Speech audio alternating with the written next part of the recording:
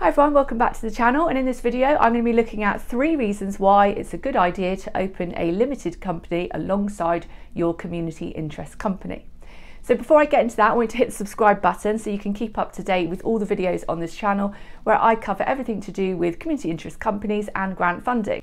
Now that aside, let's jump in. So I'm going to be looking at three reasons why it's a good idea to open a limited company alongside your community interest company.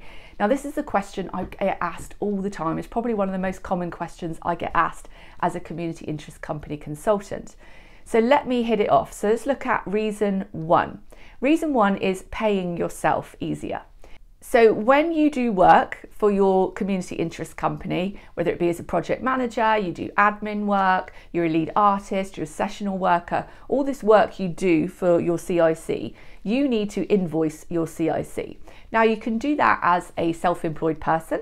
You can invoice them that way, and then, you, then the CIC just pays you as a self-employed person into your account for the work that you've done. You pay your income taxes for your self-assessment, etc or you could open a limited company. So the benefits of you opening a limited company, now when I say you, I mean just you as a person, as a sole trader, not you and all the other directors, just you. So this is about paying you. So you can open that limited company yourself, just quickly do that on Companies House. You can set up a Starling account for that one. It doesn't matter about bank accounts, just a regular bank account is fine. So you can do that quickly. And then you would invoice your CIC for the work. Now, you can do that by, say, on your grant forms, um, you can either list, uh, say, so say I do work uh, for my CIC, I list on my lottery budget that I'm going to pay myself, Kelly Thorne, X amount of money for X amount of hours sessional work on this project. So I don't, on that sense, put the name of my um, my my limited company. Just put it's paying me, and then I would just still invoice the um, the CIC for Kelly Thorne's work. Now, you can do it like that, or you might have something that your LTD is hiring to your community interest company. This could be, say, your LTD owns a property and your CIC is going to be running a project in that, in that property. So, in that case, your uh, LTD would invoice your CIC for room hire or for venue hire. So, then in that case, you would put the name of the limited company. Now, this is why it's very important that you do not have the same name on your limited company as you have on your community interest company, because that will look super dodgy to your uh, grant funders. In fact, they would likely actually reject it. And it's not a good practice to have your limited company the same name as your CIC. Remember, your CIC is building a brand as a not for profit, as something that doesn't gain profit. So it's not a good idea to muddy that water with an LTD, which is, of course, a profit making company. So you need to make them different. Now, some people say, well, can I just make it slightly different? But you don't want to do that because, again, uh, a grant funder will see that on some applications if you're billing your CIC. So you don't want to do that. So make sure they've got completely different names.